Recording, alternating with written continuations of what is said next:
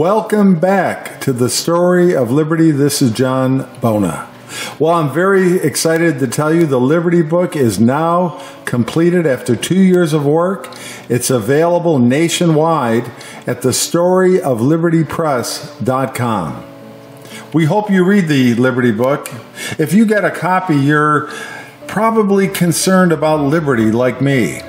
It could be that you or a family member or a friend served in the military, or for personal reasons, you've just been thinking about liberty. Or maybe you've just grown more concerned about the government chipping away at our personal freedoms. While there's many books out there cataloging the government abuses, the Liberty Book is the only one that digs to the root of the problem. We are searching the foundations from Scripture for liberty, what they are, and how to return to them. The Liberty Book takes us on a different path, not a path you've ever been on before, to discover the true nature of some of our most sacred principles of liberty. You know, there's endless opinions about the importance of liberty today. There's plenty of discussions about the loss of freedoms. You probably know a guy who has a room filled with rifles, you know, just in case. Or others are setting up a hideaway in a foreign country as insurance against a government becoming tyrannical and growing too aggressive. But this book, the Liberty Book, is not advocating this. It's not a call to arms. It's a call to begin thinking and acting in the way God has instructed with respect to our freedoms. It's a distinctively Christian look at what liberty is and how we can pursue it. By the way, we're very strong supporters of our Second Amendment rights. We are asserting that liberty is only derived from God at its foundation and that it is only through Christ that true liberty is achievable. It doesn't come from the government, nor in the final end can it be taken away by the government. Many assume their freedom is a privilege, not a right, and have never really considered the question in these terms before. Most people believe liberty is a gift from civil government and should be controlled by that authority and many civil government officials are happy to agree with this, treating our liberty as loose, fungible. Most elected representatives are slow to help us against these abuses that keep on accumulating. They agree that liberty comes from the government and could be eliminated by their own authority.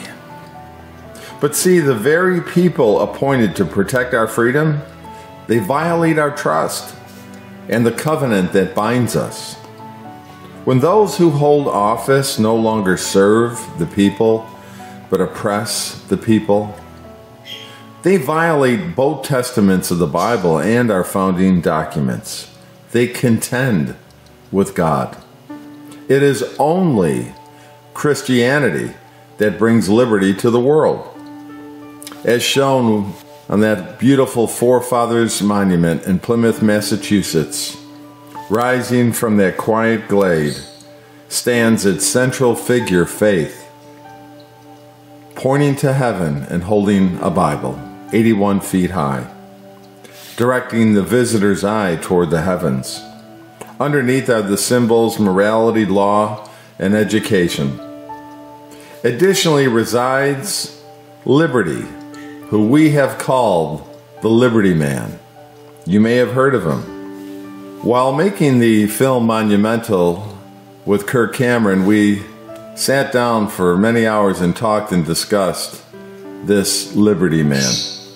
The idea of the Liberty Man derives the first usage as a seaman, a man of the sea who has gone ashore. You've probably heard that term.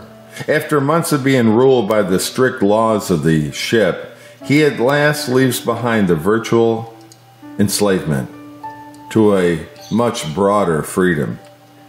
He has a liberty, less profound than represented by our Liberty Man, carved in stone. But we get a glimpse of this man who has the call of the sea.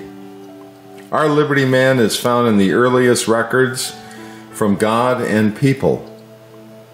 The slave being dragged and crushed by first by his own nature and then by the actions of others, he finds himself ever working to rise, but forever failing. The Liberty Man, under siege from the same forces, manages to find victory of freedom that his soul craves.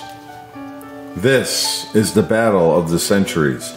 Will we be slaves or will we be free people? What is it that unchains slaves? What is it that makes free people free? What is it that began emancipating the West while surrounding cultures remained captive, being led like a herd of cattle? The Liberty Man has been represented by numerous men and women throughout the centuries. He is any person who chooses to resist the powers of slavery.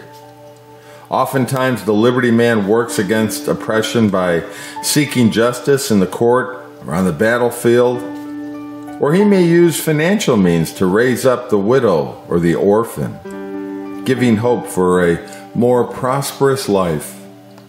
These kinds of works have been commanded by Christ and are the backbone of Christianity. Liberty men protecting their neighbors are doing the work that pushes back slavery in tangible ways.